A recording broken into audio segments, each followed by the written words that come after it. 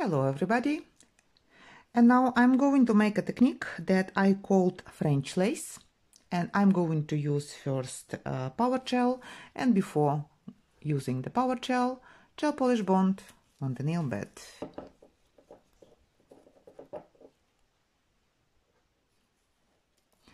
I really like to work uh, on the easy trainer because it's the very good way for practicing and also you can do whatever you want. You can practice with your design. You can try your product and actually you can do really a lot of things. And now power gel clear.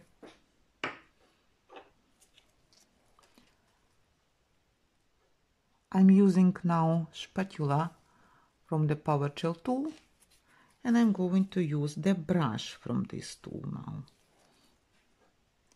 and I will use it just to press down the product and seal it to the nail. Mm -hmm. And I will continue distributing the product using acrylic brush. I'm using old acrylic brush because to me it's more comfortable. I'm going to make the whole nail using just clear product. So that's why I can apply it in the thickness that actually that I like that you see that now it's a bit thicker but that's absolutely okay. So I just will this is just means that I will have to pinch this layer first not second one so we always have to pinch the layer that will be the thickest one.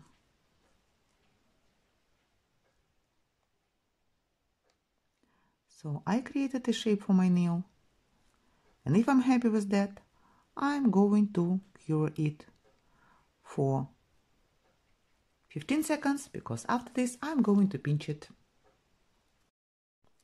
After being in UV light I'm going to pinch it with magnetic expert tool. First check and then pinch it in the stress area.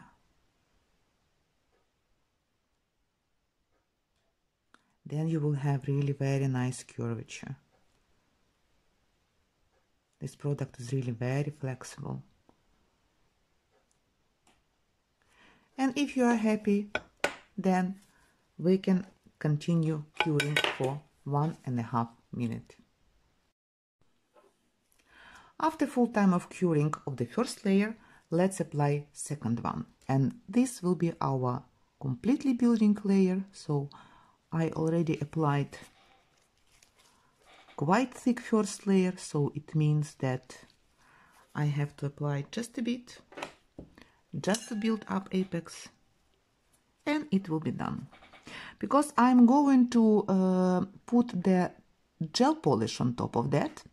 So it means that sculpting product has to be applied as thin as possible because then I'm going to compensate the thickness of the product using first of all gel polish and then top gel. So always take it into consideration that if you are going to use gel polish, always apply your sculpting product as thin as possible.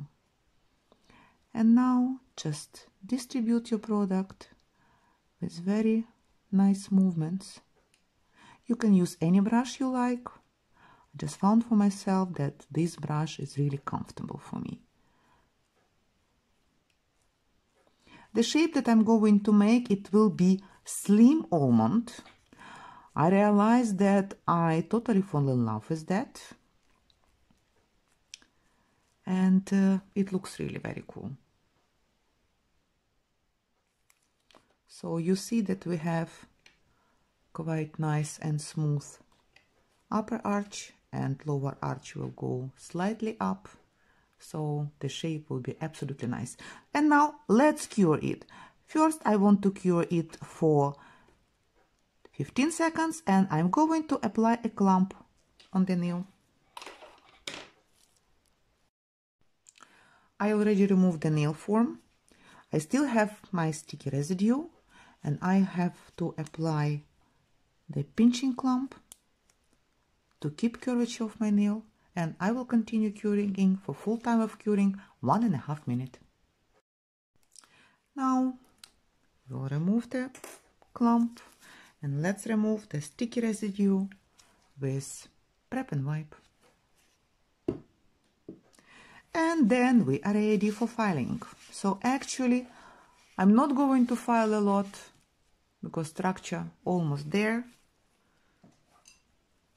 and I will start first shape with shaping my nail and I will come back to you in a couple of seconds.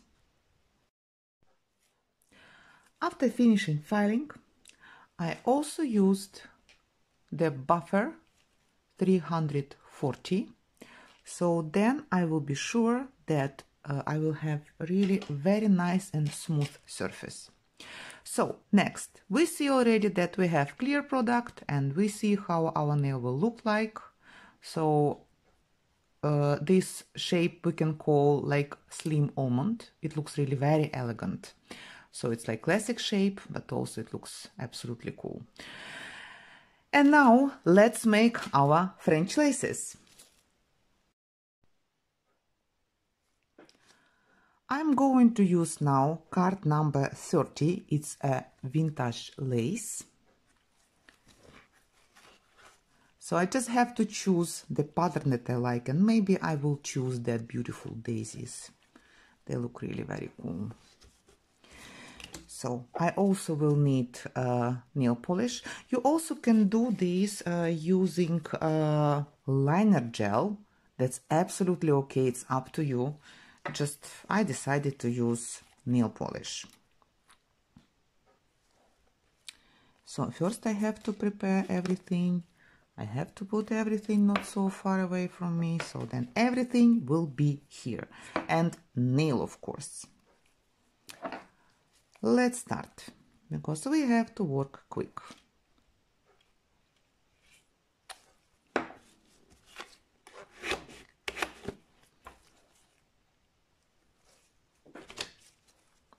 And then just print it over your nail. Like that. So if you see like here, I don't have enough laces, that's not a problem because I still can print something that left on that part. Yeah. And it will be covered. And uh, then I will press it down and the excess that I have on my sides I have to remove with polish corrector.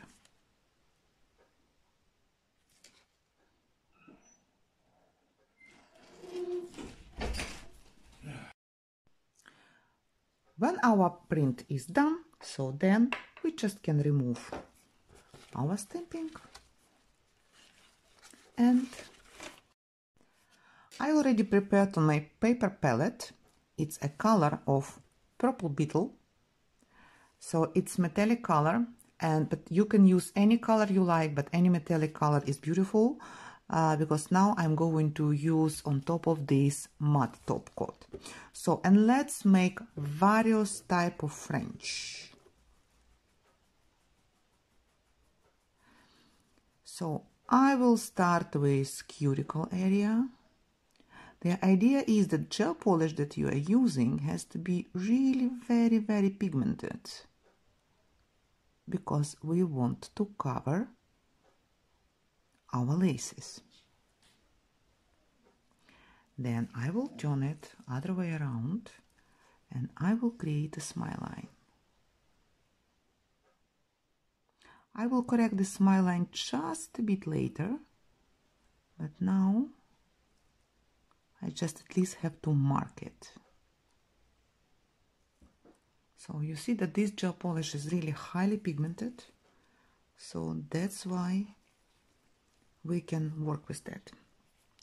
And then after this, I can remove my brush and I will work with Katarina's brush.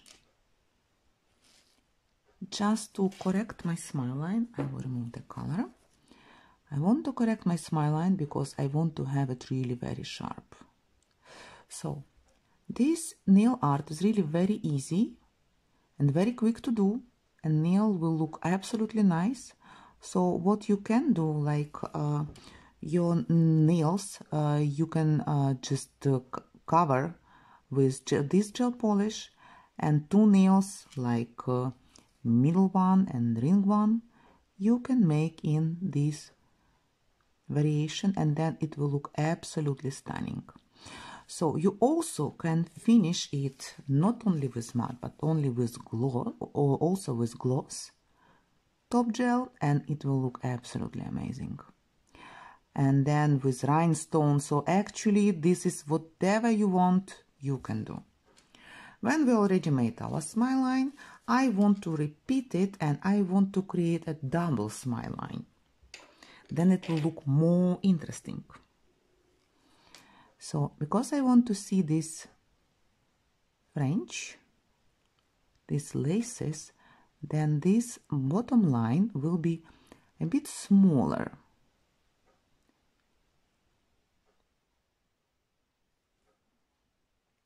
Mm -hmm. And again, I will correct it with brush, creating sharp smile line. If something happen and your smile line will not be completely sharp, don't get upset because we are going to hide it.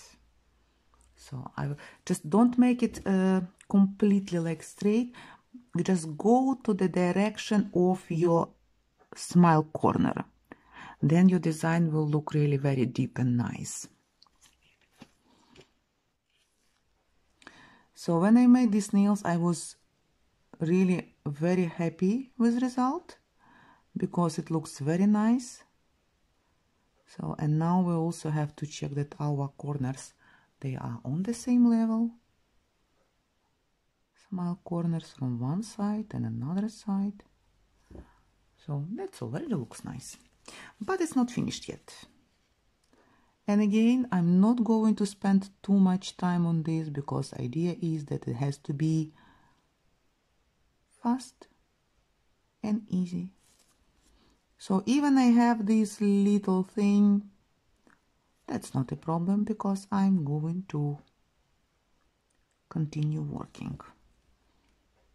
Yeah, of course, better not to do it but just my hand played a bit funny. I will correct it and you see that it's hidden.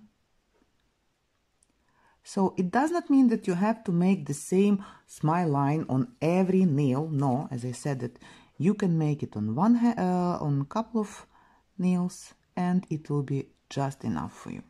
So I just want to make it more, I will add a bit more product, more smooth.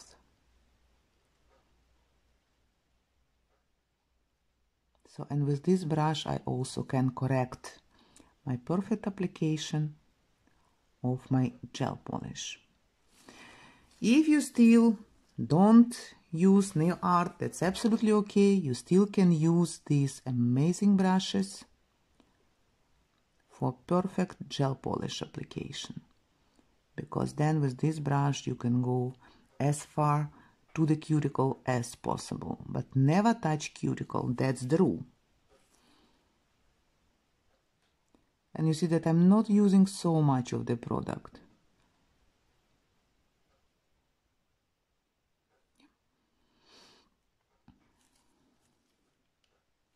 So just little correction because all of us we are perfectionists.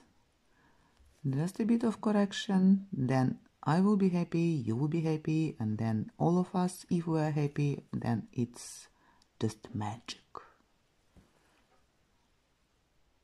Now I'm going to, yeah, just a bit correction here.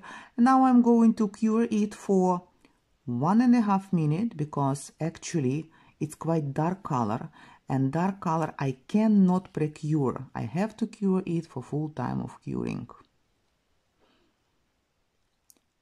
and here I have a bit of dust. Shame on me. Yeah, no dust anymore.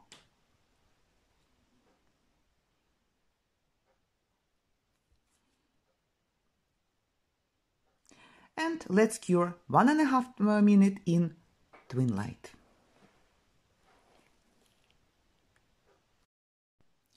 When it's cured, now I already prepared on my paper palette its liner gel white and base and top. And I'm going to mix them together. Why I want to do it? Because I want to create the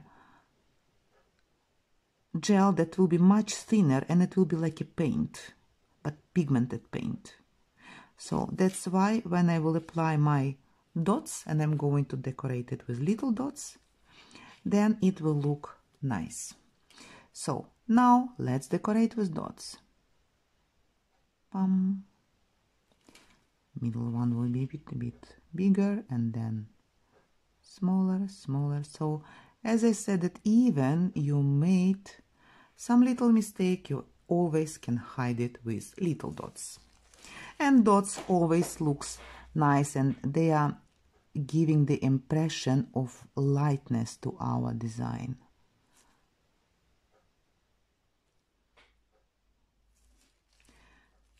And another layer on the bottom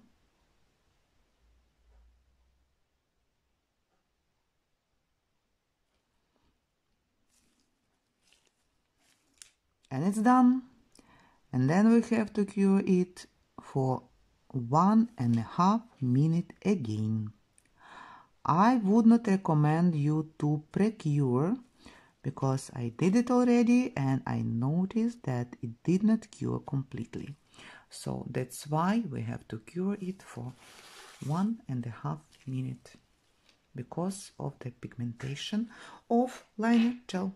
One and a half minute and see you later. And uh, we are almost finishing, so we have to seal it with Extreme Matte Top Gel. So, of course, you can seal it with Gloss Top Gel. That's absolutely normal. Just I like, I really like the effect on metallic colors with matte top coat. It looks absolutely like velvet and so cool.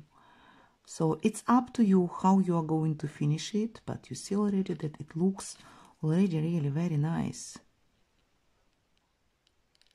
Everything is cured absolutely okay, which is cool. So I just will add a bit.